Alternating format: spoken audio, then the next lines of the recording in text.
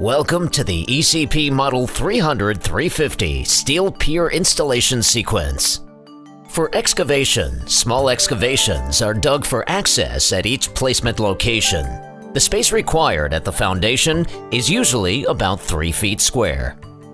In preparation of the foundation, the footing is notched to place the pier bracket under the stem wall, preparing the bearing area under the footing to a smooth and level condition and adjusting the face of the stem wall to vertical at the point of bracket attachment. For pier pipe installation, the pier pipe is advanced into the soil using a high-pressure hydraulic pump.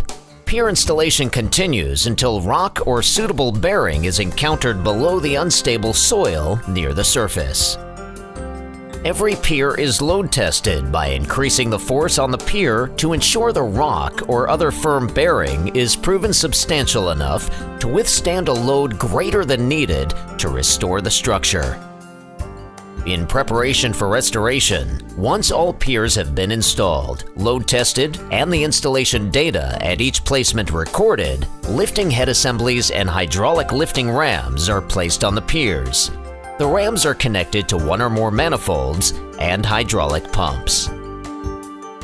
For restoration, under careful supervision, the load is transferred from the failing soil under the foundation to the pier system.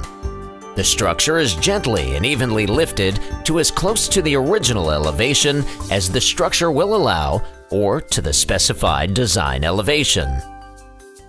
In cleanup, the soil that was excavated at each pier placement can now be replaced and compacted.